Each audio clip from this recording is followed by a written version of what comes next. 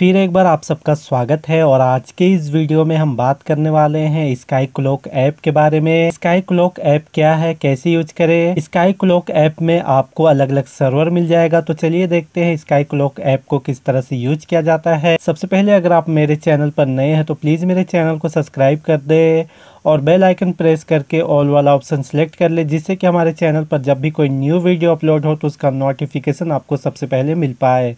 तो चलिए video start करते हैं। सबसे पहले आपको इस एप्लीकेशन को प्ले स्टोर से इंस्टॉल करना है, उसके बाद आपको इसे ओपन करना है। तो हम इसे ओपन कर लेते हैं। के बाद आपको इस एप्लीकेशन में कुछ इस तरह का इंटरफेस नज़र आएगा। यहाँ पर आप देख सकते हैं इसका स्टेटस अभी जो सर्वर है, यहाँ पर कनेक्ट नहीं है। तो यहाँ पर स्टेटस आप इस तरह से देख सकते हैं और यहाँ पर आपको अलग अलग सर्वर मिलेगा। यहाँ पर से आप कोई सा भी सर्वर कनेक्ट कर सकते हैं यहाँ पर।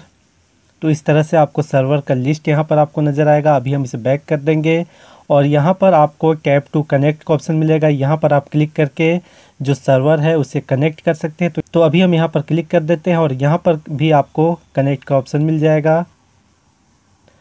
तो यहाँ पर क्लिक करने के बाद आपको अलाउ में क्लिक कर देना है। उसके बाद आपको यहाँ पर कुछ देर के लिए वेट करना है। तो यहाँ पर जो सर्वर है वो कनेक्ट हो चुका है और जो टाइम मिला है वो आप यहाँ पर देख सकते हैं। कौन सा सर्वर कनेक्ट हुआ है वो भी आप देख सकते हैं। अभी हम इसे बैक कर देंगे। तो यहाँ पर जो सर्वर कनेक्ट है उसे डिसकनेक्ट करने के लिए आपको यहाँ पर क्लिक कर देना है और अगर जो टाइम है उसे आप बढ़ाना चाहते हैं तो यहाँ पर आपको क्लिक करना है और यहाँ पर जो ऐड चलेगा उस ऐड को आपको पूरा देख लेना है।